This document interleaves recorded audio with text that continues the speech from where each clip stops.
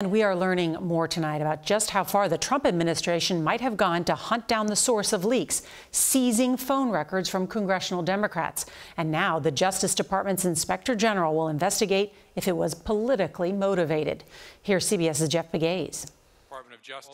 The seized phone logs date back to 2017 and 2018 as the House Intelligence Committee's Russia investigation was underway. President Trump wanted to know where the leaks were coming from. Justice Department prosecutors secretly subpoenaed phone information from Apple for Democrats Eric Swalwell and Adam Schiff and people close to them, including a minor. It's a, another terrible abuse of the Justice Department another shattering of the norms uh, since Watergate. Schiff had been a frequent target of the president. And Shifty Schiff, how about this guy? Attorney General William Barr continued the leak investigation and stumbled when asked by then Senator Kamala Harris if the president or anyone at the White House had ordered him to open an investigation. I wouldn't. I wouldn't.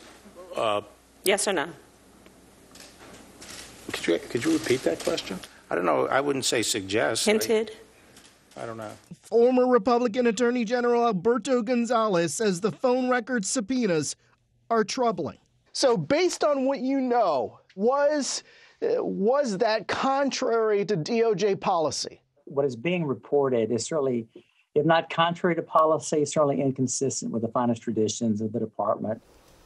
And Jeff joins us now. So, what will this independent investigator at the Department of Justice be looking for? Well, the bottom line is, is that this inspector general will look into whether the Trump administration used the DOJ as a weapon against the president's political enemies. Also, Norah, Senate Democrats want AGs William Barr and Jeff Sessions to testify on Capitol Hill. We'll see if that happens. All right, Jeff Pegues, thank you.